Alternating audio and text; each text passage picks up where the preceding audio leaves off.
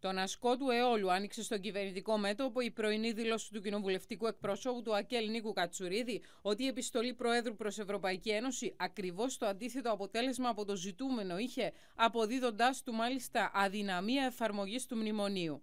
Ήταν από τη μια την επιμονή των Ευρωπαίων στο απαράδεκτο μνημόνιο που έχουν επιβάλει στον Κυπριακό λαό και με το οποίο βέβαια συνένεσε η κυβέρνηση και από την άλλη να αποκαλύψει ταυτόχρονα πόσο θεατρινίστικες ήταν οι δηλώσεις που έγιναν πριν την δημοσιοποίηση της επιστολής από Ευρωπαίους αξιωματούχους στο πνεύμα ότι τάχα περίπου μας αδίκησαν και έκαναν λάθος.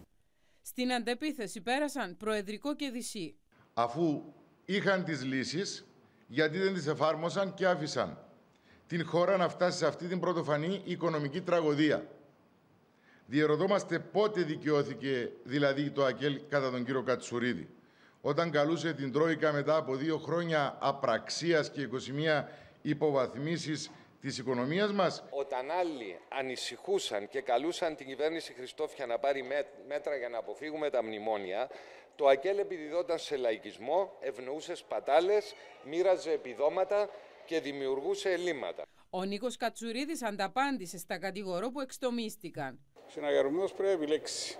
Είτε το μνημόνιο το έφερε ο Δημήτρης Χριστόφιας, είτε φταίει γιατί δεν το υπόγραψε. Δεν μπορεί να είναι και τα δύο σωστά. Η αντιπαράθεση συνεχίστηκε και στο μέτωπο των διορισμών και μεταθέσεων στην αστυνομία με το ΑΚΕΛ να καταγγέλνει ότι γίνονται με κομματικά κριτήρια.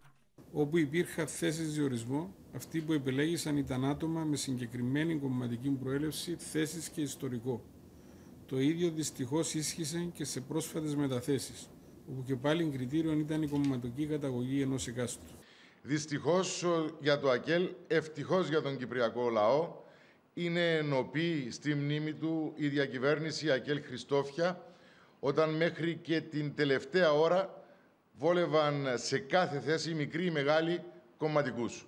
Θα μπορούσαμε την ώρα αυτή να υπενθυμίσουμε τι γινόταν επί συστηματικής βάσεως και με την βοήθεια μάλιστα ηλεκτρονικής επικοινωνίας όλα τα τελευταία χρόνια. Αλλά δεν θα το πράξουμε.